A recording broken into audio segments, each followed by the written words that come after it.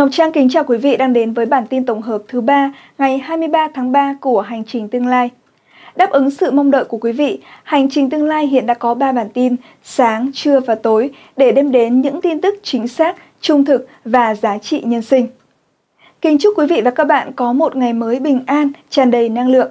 Và không để quý vị chờ lâu, sau đây chúng ta sẽ cùng đến với những tin tức nổi bật trong phần tin Việt Nam.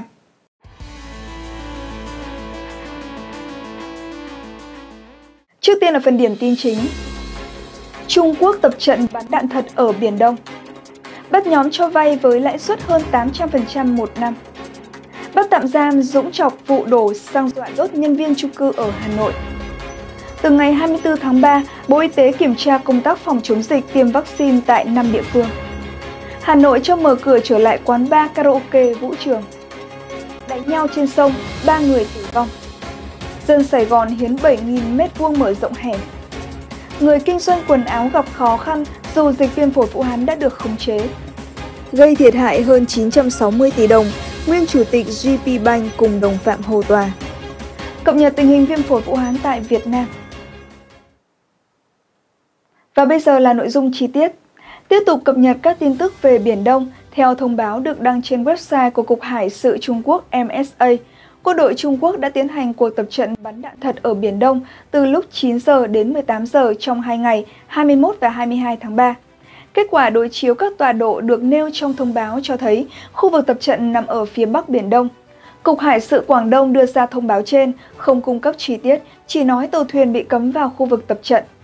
Hôm 15 tháng 3, Đài truyền hình Trung ương Trung Quốc CCTV đưa tin chiến khu Bắc Bộ, chiến khu Đông Bộ và chiến khu Nam Bộ gần đây tiến hành các đợt huấn luyện lần lượt ở Hoàng Hải, Biển Hoa Đông và Biển Đông. Trước đó vào ngày 26 tháng 2, Cục Hải sự Quảng Đông thông báo rằng cuộc tập trận sẽ diễn ra ở vùng biển phía tây bán đảo Lôi Châu của Trung Quốc, tức Vịnh Bắc Bộ, từ ngày 1 tháng 3 đến ngày 31 tháng 3. Theo các thông báo được đăng trên website của MSA, Tính từ đầu năm đến nay, quân đội Trung Quốc đã và có kế hoạch tiến hành ít nhất 9 cuộc tập trận ở Biển Đông, trong đó có 4 cuộc tập trận ở Vịnh Bắc Bộ. Cơ quan Cảnh sát điều tra Công an quận Tân Phú, thành phố Hồ Chí Minh vừa ra quyết định khởi tố vụ án, khởi tố bị can và lệnh bắt bị can để tạm giam đối với Nguyễn Bình Tuân, 27 tuổi và Nguyễn Bá Điệp, 23 tuổi, cùng quê ở Hà Nội về tội cho vay lãi nặng trong giao dịch dân sự. Theo thông tin ban đầu, vào tháng 5 năm 2020, Tuần vào thành phố Hồ Chí Minh và lập tài khoản trên mạng xã hội có tên là Home Bank, ngân hàng tại nhà, với mục đích dụ dỗ con mồi cho vay nặng lãi. Đến tháng 9 năm 2020, Tuần chiêu nạp thêm Điệp và một số anh em xã hội từ ngoài Bắc vào thành phố Hồ Chí Minh. Cả nhóm hùn tiền cho người dân vay với lãi suất từ 240% đến 810% một năm để lấy tiền lời chia nhau. Sau thời gian theo dõi, Công an quận Tân Phú phối hợp cùng với Công an phường Hiệp Tân tiến hành bắt giữ 7 đối tượng khi đang lưu trú tại một chung cư trên đường Hòa Bình. Khám xét nơi ở của các đối tượng, Công an đã thu giữ 51 bộ hồ sơ, sổ viết liên quan đến việc cho vay lãi nặng trong giao dịch dân sự trên địa bàn quận Tân Phú và các quận huyện khác ở thành phố Hồ Chí Minh. Công an quận Hoàng Mai, Hà Nội ngày 22 tháng 3 đã ra quyết định khởi tố vụ án hình sự, khởi tố bị can và lệnh bắt tạm giam Trương Tuấn Dũng, tức Dũng Trọc, sinh năm 1976, trú tại Mai Động, quận Hoàng Mai, và Nguyễn Thái Thành, sinh năm 1982, trú tại Thổ Quan, quận Đống Đa, Hà Nội, về tội đe dọa giết người. Theo cơ quan công an, khoảng 15 giờ ngày 8 tháng 3, Thành và Dũng cầm theo hai chai nhựa đựng xăng đến văn phòng ban quản lý trung cư Sunshine Garden, phường Mai Động, quận Hoàng Mai, yêu cầu nhân viên cho gặp lãnh đạo để giải quyết quyền lợi liên quan đến căn hộ trung cư của Dũng. Tại đây, Thành đổ xăng vào người một nam nhân viên và lấy bật lửa dọa đốt. Sau đó Thành chửi bới và vứt vỏ chai ở nền nhà, còn Dũng kéo ghế ngồi chắn cửa ra vào. Sau khi sự việc xảy ra, ban quản lý trung cư Sunshine Garden đến công an phường Mai Động trình báo.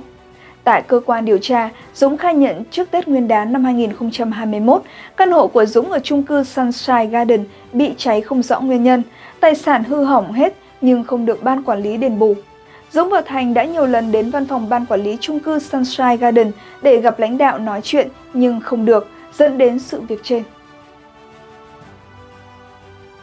Theo thông tin của Bộ Y tế từ ngày 24 đến ngày 28 tháng 3, Bộ Y tế sẽ tổ chức đoàn kiểm tra công tác phòng chống dịch và triển khai tiêm vaccine phòng viêm phổi Vũ Hán tại các tỉnh, thành phố bao gồm Quảng Ninh, Hải Dương, Hà Nội, thành phố Hồ Chí Minh, Tây Ninh. Bên cạnh đó, Bộ Y tế tăng cường kiểm tra, giám sát chặt chẽ việc thực hiện các quy định về nhập cảnh, giám sát, cách ly y tế, phòng chống dịch, đặc biệt là các điều kiện trước khi nhập cảnh, giấy xét nghiệm âm tính với viêm phổi Vũ Hán, giấy khai báo y tế. Việc đưa đón từ cửa khẩu các khu vực cách ly y tế đối với người nhập cảnh, bao gồm khu cách ly trong ngoài quân đội, có thu phí, tuyệt đối không để dịch lây lan trong khu vực cách ly, phát triển ra cộng đồng. Đảm bảo việc xét nghiệm đúng số lượng, thời gian, đối tượng. Đồng thời, Bộ Y tế liên tục thông báo cho người dân những địa điểm nguy cơ để người dân biết, khai báo với cơ quan y tế để được sàng lọc xét nghiệm kịp thời phối hợp với các bộ, ngành và địa phương thường xuyên truyền thông khuyến khích nhân dân giám sát, phát hiện người từ những địa điểm nguy cơ về nơi cư trú trên địa bàn mà không khai báo y tế hoặc khai báo không đúng sự thật. Chiều hôm qua 22 tháng 3, Hà Nội họp ban chỉ đạo phòng chống viêm phổi Vũ Hán. Kết luận cuộc họp, Phó Chủ tịch Ủy ban nhân dân thành phố Hà Nội Trử Xuân Dũng yêu cầu giám đốc các sở, ban ngành, lãnh đạo các địa phương, đơn vị quận huyện thị xã cần căn cứ theo tình hình bình thường mới Tiếp tục đảm bảo mục tiêu kép, vừa đảm bảo an toàn phòng chống dịch, vừa tạo điều kiện để phát triển kinh tế xã hội. Ông Dũng chỉ đạo, từ 0 giờ ngày 23 tháng 3, các quán bar karaoke vũ trường được phép hoạt động trở lại trong điều kiện bình thường mới. Ông Dũng cũng thông tin thành phố đồng ý cho tổ chức các chương trình gặp mặt đông người nhưng phải đảm bảo phòng chống dịch theo đúng hướng dẫn của Bộ Y tế và thành phố. Liên quan đến công tác giáo dục đào tạo, ông Dũng cho biết Vừa qua, học sinh trên địa bàn thành phố đã nghỉ 2 tuần để phòng chống dịch. Hiện nay, Bộ Giáo dục và Đào tạo đang có phương án lùi lịch thi tốt nghiệp. Sở Giáo dục và Đào tạo cần chủ động việc này. Nếu Bộ Giáo dục và Đào tạo quyết định lùi lịch thi, cần chủ động lùi thời gian tuyển sinh lớp 10 và tuyển sinh đầu cấp để thuận tiện cho người dân và học sinh trên địa bàn thành phố. Hôm qua 22 tháng 3, Công an tỉnh Tiền Giang và Công an huyện Cai Lậy đã tìm được 3 thi thể của một vụ xô sát trên sông làm 3 người không qua khỏi. Ba thi thể đã được tìm thấy ở ba địa điểm khác nhau là xã Ngũ Hiệp, xã Tân Phong, huyện Cai Lậy và một người khác được phát hiện trên sông thuộc tỉnh Bến Tre. Theo điều tra ban đầu, khoảng 5 giờ ngày 20 tháng 3, anh Phan Thanh Minh, 28 tuổi, ngụ ở xã Vinh Hòa, huyện Ba Chi, tỉnh Bến Tre, cùng vợ là chị Kiến Thị Út, 30 tuổi, chạy ghe đi tỉnh An Giang mua dơm. Anh Minh còn thuê Đỗ Hoành Tuân, 35 tuổi, và Huỳnh Ngọc Thạch, 37 tuổi, cùng ngụ ở huyện Ba Chi chạy thêm một tàu đi cùng. Để tiện nói chuyện với nhau, mọi người dùng dây buộc hai tàu lại, chạy song song. Đến 13 giờ cùng ngày, hai tàu đi đến đoạn sông thuộc sông Tiền, xã Tân Phong, huyện Cai Lậy. Minh rủ Tuân và Thạch sang tàu của mình nhậu. Sau đó Minh và Tuân xảy ra mâu thuẫn cự cãi. Lúc này Minh dùng tay đánh vào mặt Tuân, Chị Út thấy vậy nên tháo dây buộc giữa hai tàu. Tuần và Thạch nhảy sang tàu của mình. Khi cả hai tàu rượt đuổi trên sông thì bất ngờ chị Út ngã xuống nước. Thấy vậy Thạch nhảy xuống cứu thì cũng bị đuối nước. Tuấn tiếp tục nhảy xuống cứu nhưng bất thành. Sau đó thanh niên này thấy tàu của anh Minh trôi tự do trên sông, trên tàu không có ai. Vụ việc làm anh Minh, Thạch chị Út mất tích. Đến trưa ngày 22 tháng 3, lực lượng chức năng đã tìm thấy ba thi thể nói trên. Hơn 450 hộ dân quận 7 đã hiến khoảng 7.000 m2 đất, giá trị từ 30 đến 50 triệu đồng mỗi mét vuông để mở rộng hẻm trong năm nay. Nội dung nằm trong chương trình vận động nhân dân hiến đất mở hẻm giai đoạn 2021-2025 do Ủy ban Nhân dân quận 7 phát động sáng ngày 22 tháng 3 nhằm chỉnh trang đô thị, giúp người dân dễ tiếp cận xe cấp cứu, cứu hỏa khi có sự cố, tăng giá trị nhà đất, được biết các hẻm này đều nhỏ hẹp rộng chừng 2 mét, chỉ đủ hai xe máy chạy lọt. Khi được mở rộng lên 4 đến 6 mét, phần lớn các hẻm đáp ứng hai ô tô đi vào, tránh được nhau.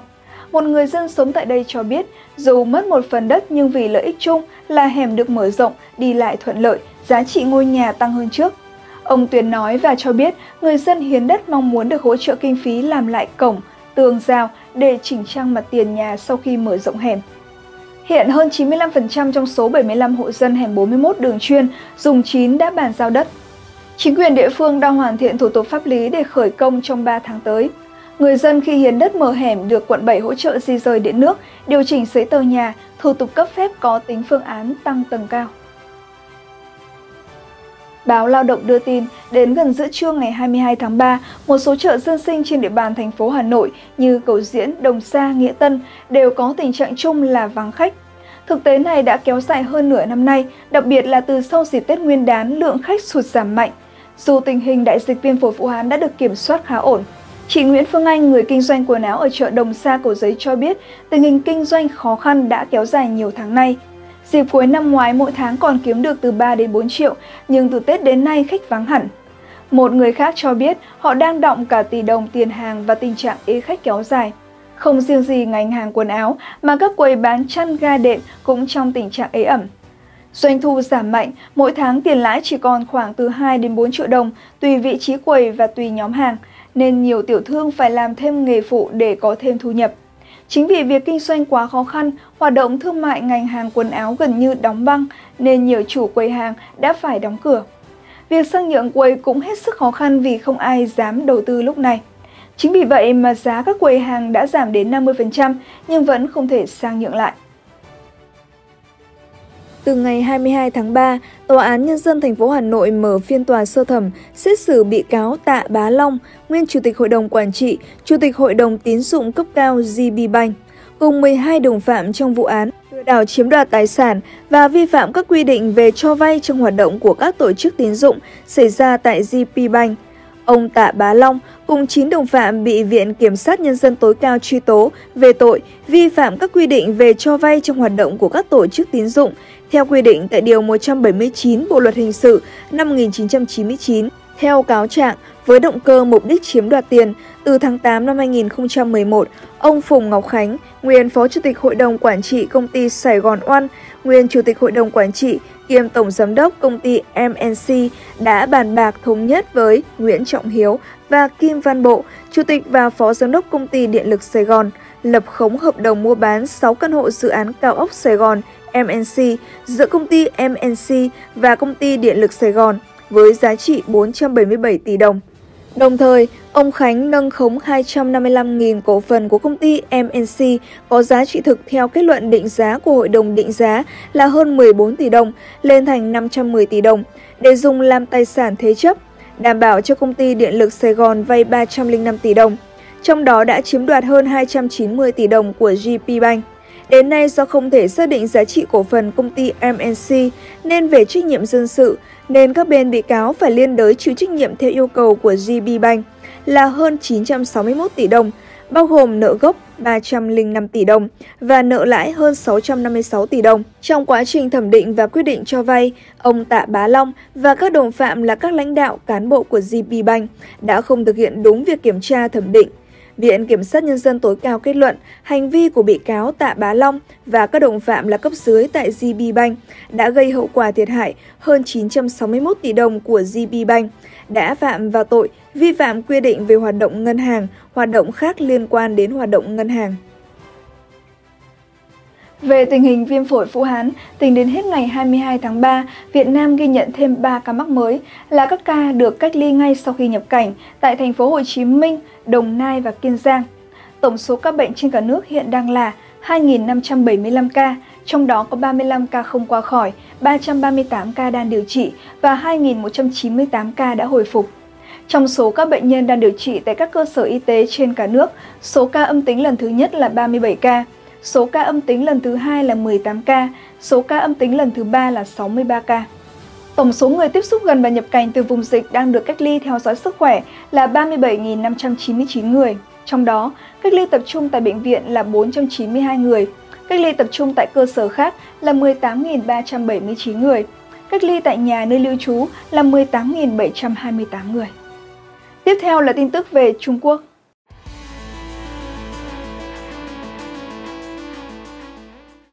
Trước tiên là phần điểm tin chính. Trung Quốc bổ nhiệm hai lãnh đạo ngân hàng nhà nước sau khi vỡ nợ 10 tỷ trái phiếu. Lợn chết hàng loạt ở sông Hoàng Hà gây sốc. Sri Lanka sẽ không cho Trung Quốc gia hạn hợp đồng thuê cảng 99 năm. Và ngay bây giờ là nội dung chi tiết. Theo tuyên bố mới đây của chính quyền Trung ương Trung Quốc, Cố vấn cấp cao chính phủ Trung Quốc ông Khai Phang và cựu Phó Giám đốc Trung tâm Nghiên cứu Phát triển thuộc Quốc vụ viện ông Wang Yiming sẽ tham gia Ủy ban Hoạch định Chính sách của Ngân hàng Nhân dân Trung Quốc PBOC. Cùng lúc, hai quan chức khác sẽ rời khỏi ủy ban này. Theo truyền thông Trung Quốc, sự thay đổi này tuân thủ quy định thay đổi thành viên của ủy ban trên sau 3 năm bổ nhiệm. Giới quan sát nhận định, sự thay đổi mới cho thấy BBOC đang chuẩn bị rút lại các gói kích thích đổ vào nền kinh tế Trung Quốc vì đại dịch viêm phổi Vũ Hán từ năm ngoái. Nguyên nhân xuất phát từ việc một số quan chức lo ngại nợ và rủi ro bong bóng các loại tài sản có thể tăng cao. Theo hãng tin Bloomberg, trong năm 2021, các doanh nghiệp Trung Quốc đã vỡ nợ khoảng 10 tỷ USD trái phiếu trên cả thị trường tín dụng trong và ngoài nước. Đây là mức vỡ nợ cao nhất từng được ghi nhận tại quốc gia này so với cùng kỳ các năm trước. Theo truyền thông Trung Quốc đưa tin, ít ngày trước một số lượng lớn lợn chết được tìm thấy tại khu vực sông Hoàng Hà ở Nội Mông, khiến người dân lo ngại rằng điều này có thể gây ảnh hưởng đến chất lượng nước, ô nhiễm môi trường, thậm chí trở thành nguồn bùng phát dịch bệnh. Một phóng viên đã phát hiện thấy nhiều xác lợn ở bờ kè đoạn sông Hoàng Hà, một số xác nằm gần mặt nước và một số bị ngâm nửa thân trong nước. Hàng chục xác lợn chết chất đống hai bên con đường đất dẫn từ bờ kè ra sông chính, trông như một mảng trắng. Dọc theo bờ đê về phía tây, ba hoặc 400 con lợn với hình thù khủng khiếp liên tục được tìm thấy ở phía trên trong của bờ kè và có cả những xác lợn con, một nửa trong số đó đã bị teo lại và một số đã bị phong hóa thành xương. Người dân địa phương cho biết họ không biết những con lợn từ đâu đến, họ đoán rằng người nuôi lợn ở nơi khác cố tình ném xác lợn xuống sông. Người dân cũng lo lắng rằng những con lợn này có thể đã mắc bệnh và sẽ trở thành nguồn bệnh. Trong cuộc trả lời phỏng vấn gần đây với tờ South Channel Morning Post và trả lời câu hỏi về thông tin, Tổng thống Sri Lanka Gotabaya Rajapaksa đang xem xét lại thỏa thuận cho Trung Quốc thuê cảng Hambantota 99 năm. Đại sứ Sri Lanka là Palitha Kohona cho biết, không có, tôi nghĩ đó, thông tin xem xét lại thỏa thuận là thứ sắc rưởi. Nếu có đàm phán, đó sẽ là cuộc đàm phán rất bí mật và không ai sẽ tiết lộ.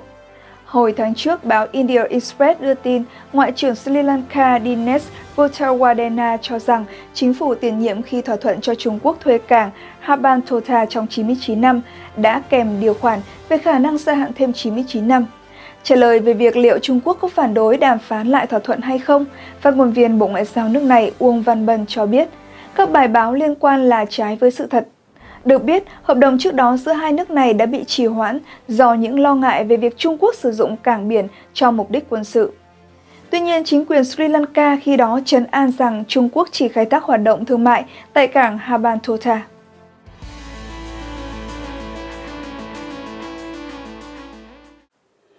Trước tiên là phần điểm tin chính. Ông Biden tự nhận bà Harris thông minh hơn mình. Ông Trump tố ông Biden gây ra thảm họa quốc gia. Nga kêu gọi Trung Quốc hợp tác đối phó Mỹ. Australia xả hồ chứa nước làm lũ lụt thêm trầm trọng. AstraZeneca bác cáo buộc của Indonesia về thành phần vaccine. Cập nhật tình hình viêm phổi Vũ Hán trên thế giới. Và ngay bây giờ là nội dung chi tiết.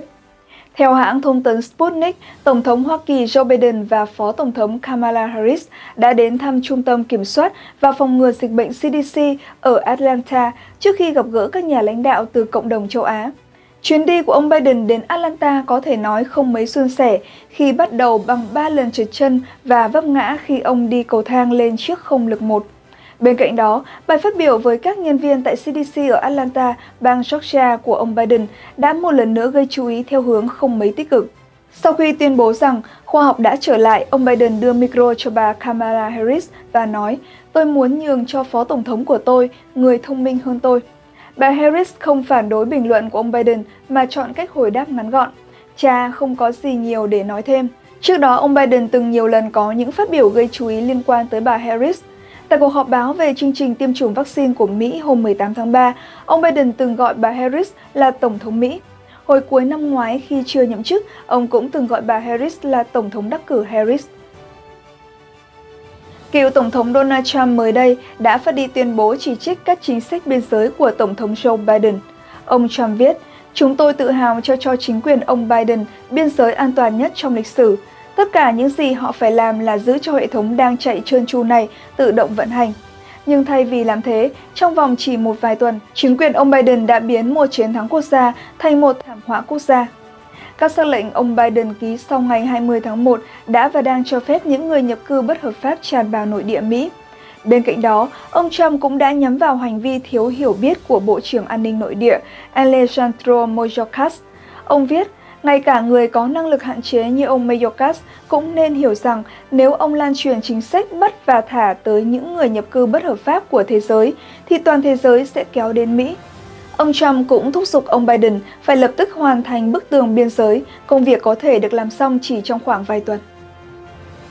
Theo mạng truyền hình CJTN, Ngoại trưởng Nga ông Sergei Lavrov kêu gọi hợp tác cấp cao Moscow-Bắc Kinh nhằm chống lại nỗ lực thống trị thế giới của phương Tây, dẫn đầu là Mỹ. Ông Lavrov nói rằng Mỹ và các nước phương Tây khác đang tìm cách tiếp tục thống trị kinh tế, chính trị toàn cầu bằng mọi giá và áp đặt ý chí yêu sách của mình với các nước khác. Vậy nên ưu tiên hàng đầu của Nga, Trung là tiếp tục tăng cường hợp tác cấp cao, cùng thúc đẩy chủ nghĩa đa cực toàn cầu và hội nhập khu vực, đồng thời bảo đảm một trật tự công bằng, dân chủ ổn định cho quốc tế và khu vực. Bên cạnh đó, Ngoại trưởng Nga cho rằng Mỹ luôn sử dụng các biện pháp trừng phạt tới nỗi chúng ta đã trở thành công cụ thường trực để Mỹ giải quyết các vấn đề quốc tế. Ông khẳng định, để đối phó với các lệnh trừng phạt, Moscow và Bắc Kinh nên tăng cường hợp tác trong khuôn khổ Liên Hợp Quốc để chấm dứt các biện pháp cưỡng chế đơn phương. Ông cũng khuyến khích thúc đẩy thanh toán bằng nội tệ hay các loại tiền tệ quốc tế khác có thể thay thế USD và dần xa rời hệ thống thanh toán quốc tế do phương Tây kiểm soát để tránh và giảm thiểu rủi ro từ các lệnh trừng phạt. Theo truyền thông Australia đưa tin, bang New South Wales nước này đang phải trải qua tình trạng mưa lũ tồi tệ nhất trong hơn 5 thập kỷ qua, sau khi mưa lớn nhiều ngày trên diện rộng và hồ chứa nước lớn nhất thành phố Sydney là Warragamba xả tràn. Hôm qua ngày 22 tháng 3, hàng chục nghìn người phải đi sơ tán khi gần 40 khu dân cư được đưa vào danh sách khu vực gánh chịu thiên tai. Tình trạng mưa lũ trên diện rộng làm khoảng 18.000 dân sống ở hai khu vực vùng ngoại ô phía tây của thành phố Sydney và vùng phía bắc của bang New South Wales phải sơ tán. Bà Grady Brazilian, thủ hiến bang New South Wales cho biết, bên cạnh các hoạt động cứu trợ khẩn cấp đang được tiến hành, chính quyền liên bang Australia cũng ngay lập tức phối hợp với bang New South Wales cung cấp hỗ trợ tài chính cho người dân vùng thiên tai. Còn tại khu vực Bắc bang New South Wales, sau gần một tuần có lượng mưa tổng cộng lên tới 900 mm, gấp 3 lần lượng mưa trung bình của tháng 3 và nhiều khu vực đang chìm trong biển nước. Theo công ty bảo hiểm IAG, mặc dù chưa thể có số liệu đầy đủ, song ước tính đợt lụt lội này có thể làm thiệt hại tới 169 triệu đô la Úc. Theo hãng tin Reuters, Giám đốc tập đoàn AstraZeneca Indonesia, ông Rismens Abudari, đã lên tiếng khẳng định vaccine ngừa viêm phổi Vũ Hán do hãng sản xuất không sử dụng bất cứ thành phần nào liên quan tới động vật, bao gồm cả heo. Tuyên bố trên được đưa sau khi Hội đồng Ulema Indonesia MUI, cơ quan Hồi giáo hàng đầu tại Indonesia, gọi vaccine AstraZeneca là thứ cấm kỵ đối với người Hồi giáo. Một bài viết trên trang web của MUI cho rằng vaccine của AstraZeneca có quy trình sản xuất sử dụng trispin từ tuyến tụy của heo. Điều này khiến nhiều người Indonesia lo ngại họ đã phạm điều cấm của Hồi giáo vì tiêm vaccine. Indonesia là nước có nhiều người theo Hồi giáo nhất thế giới. Mặc dù gọi vaccine AstraZeneca là thứ cấm kỵ, MUI vẫn đồng ý cho phép sử dụng loại vaccine này tại Indonesia vì tình thế khẩn cấp. Theo hãng thông tấn AP, ngoài những lo ngại về mức độ an toàn, một trong những lý do chính khiến nhiều người không chịu tiêm vaccine vì các vấn đề liên quan đến tôn giáo tin ngưỡng của họ. Về tình hình viêm phổi Vũ Hán, thế giới trong 24 giờ qua đã ghi nhận thêm hơn 426.000 ca mắc mới và hơn 6.000 ca tử vong mới. Giới chức bang Florida của Mỹ đã ban bố tình trạng khẩn cấp và áp đặt lệnh giới nghiêm đối với thành phố Miami Beach nhằm ngăn chặn dịch bệnh phát triển trong dịp nghỉ xuân, thời điểm lượng du khách đổ về đây tăng đột biến. Các khu vực giải trí ở trung tâm thành phố bắt buộc đóng cửa từ 20 giờ. Các tuyến đường giao thông ra vào khu trung tâm sẽ bị chặn từ 22 giờ. Trong những ngày gần đây, số vụ vi phạm trật tự công cộng tiềm ẩn rủi ro bùng phát dịch bệnh đã tăng mạnh tại các thành phố du lịch nổi tiếng này. Trong khi đó, Nhật Bản đang cân nhắc yêu cầu tất cả khách nước ngoài tới nước này phải xét nghiệm biến thể mới của viêm phổi Vũ Hán. Hiện tại tất cả những người đến Nhật Bản từ 24 nước có ca bệnh các biến thể mới phải làm thêm xét nghiệm sau khi nhập cảnh 3 ngày. Nhà chức trách cũng giám sát chặt chẽ việc những người này thực hiện tự cách ly trong 14 ngày tiếp theo. Tại Đông Nam Á, ngày 21 tháng 3, Campuchia thông báo đóng cửa tạm thời toàn bộ trường học, dạp hát, trung tâm chiếu phim và bảo tàng trên cả nước để ngăn chặn dịch bệnh diễn biến phức tạp hơn. Hiện Campuchia đã ghi nhận tổng cộng 1.690 ca mắc viêm phổi Vũ Hán, trong đó có 3 ca tử vong. Tiếp theo là số liệu ca mắc viêm phổi Vũ Hán theo nguồn Worldometer.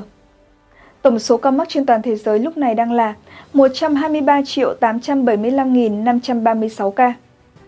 Tổng số ca tử vong 2 728.064 ca. Tổng số ca hồi phục 99 808.514 ca. Vừa rồi là những tin tức cập nhật mới nhất trong bản tin tổng hợp ngày hôm nay và ngay bây giờ chúng ta hãy cùng dành thời gian thư giãn với phần nhân sinh cảm ngộ quý vị nhé.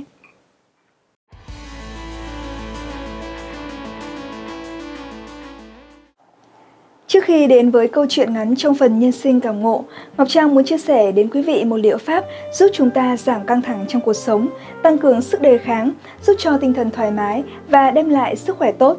Đó là phương pháp nào ạ? Quý vị thân mến, trong tình hình dịch bệnh như hiện tại, càng làm cho mỗi người chúng ta lo lắng và cũng không lạ gì cho những câu tự hỏi, không biết khi nào mới hết dịch, làm sao để có sức khỏe tốt và an toàn vẫn là trên hết cho chính mình và cho cộng đồng. Ngoài việc ăn uống lành mạnh để giữ gìn sức khỏe, để cơ thể có khả năng đề kháng tốt hơn, thì tập thể dục, ngồi thiền hay luyện tập khí công cũng là những cách để duy trì và tăng cường sức khỏe. Theo như chúng tôi được biết, luyện tập khí công để tăng cường sức khỏe không có gì mới lạ với người dân các nước. Và nghiên cứu khoa học xác thực kỳ tích của khí công tu luyện trong việc hồi phục sức khỏe tinh thần và thể chất đã được hàng triệu người trên thế giới thực hành mỗi ngày. Môn tu luyện khí công Phật gia tu tâm dưỡng tính theo nguyên lý chân, thiện, nhẫn giúp cho người tập có cuộc sống an hòa, phù hợp với tự nhiên và vũ trụ, cùng với việc luyện tập 5 bài công pháp đơn giản mỗi ngày, giúp cho Ngọc Trang có một năng lượng tốt và biết nhận hơn trong mọi tình huống.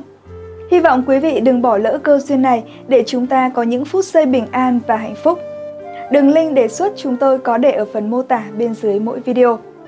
Và ngay bây giờ, Ngọc Trang sẽ kể cho quý vị một câu chuyện trong phần nhân sinh cảm ngộ.